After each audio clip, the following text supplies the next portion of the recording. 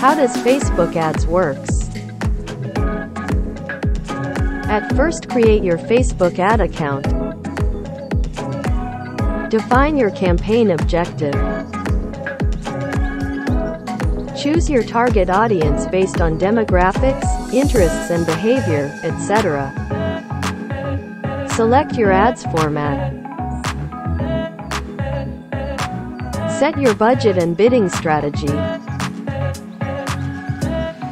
Create your ad content.